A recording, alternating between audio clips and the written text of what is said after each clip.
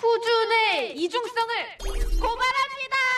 대한민국 최고의 탑스타 후준은 여성에게 폭력을 가하는 사람으로 이런 사람이 대중들에게 큰 사랑을 받고 있다라는 것을 고발하고 싶습니다. 안에서 새는 바가지 밖에서도 샌다고 추후에 해외에서 후준의 실체가 밝혀져 대한민국의 부끄러움이 되기 전에 국민의 아니 전 세계인의 알 권리를 위해 저 이근영이 나서겠습니다. 자세한 사건 내용은 파일로 첨부 있어오니 궁금한 점이 있으신 분들은 연락 부탁드립니다.